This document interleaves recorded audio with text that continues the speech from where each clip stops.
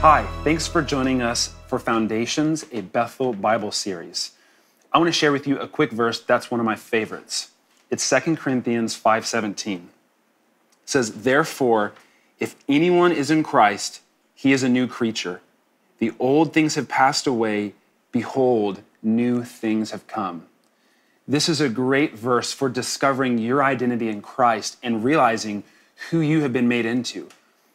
But I also want to give you some more context. So if we look back at verse 16, it says, Therefore, from now on, we recognize no one according to the flesh. As much as this tells you who you are in Christ, this also gives us a guideline for how we're supposed to see the people in our life.